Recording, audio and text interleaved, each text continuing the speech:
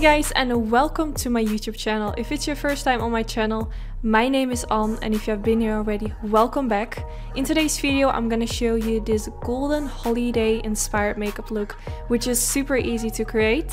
But before I go in with any eyeshadow, the first thing I'm gonna do is prime my eyelids.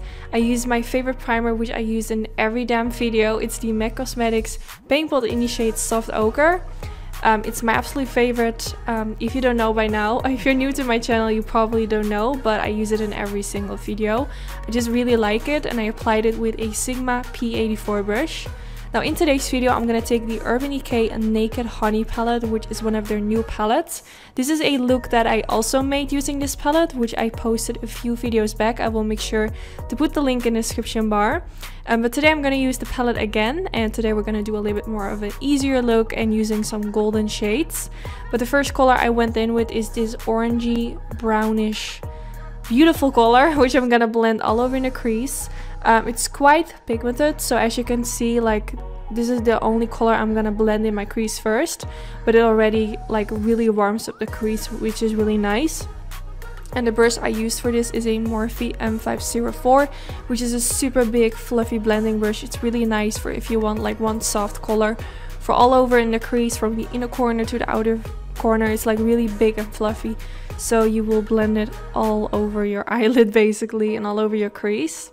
Then now I'm gonna take this color which is called Honey. This is like a really beautiful golden shade. Um, I definitely wanted to do a look using this shade because I feel like when you look at the palette I feel like this shade kind of stands out. And the palette is called Honey so I felt like I need to do at least one look using the shade Honey because the palette is called Honey so if that makes sense. but I wanted to use it all over the eyelids to really create that golden base and then after I packed on all the eyeshadow, I took a tinier blending brush and blended a little bit around the edges so the matte shade in my crease and the shimmery shade on the eyelid kind of melt together and that it doesn't look like it's really packed on. You want it to kind of blend into each other. Then I'm taking this dark shade, which I think is the darkest matte shade in the palette. I'm, I'm gonna take a Sigma Beauty E25 brush and I'm gonna apply this in the outer V area. I do have to say maybe it would be smarter if I would apply this before going in with the golden shade on the eyelids because now I'm kind of blending it on top of the shimmery shade and normally I don't really like to apply matte shades on top of shimmery shades because this will kind of create that this dark brown shade is also gonna look shimmery and I don't really like to have like a shimmery outer V area. So if you recreate this, I would suggest to first go in with the first color we blend it all over in the crease, then apply this shade and then apply the golden all over the eyelid. Don't make the same mistake as I did, I want to prevent that for you guys.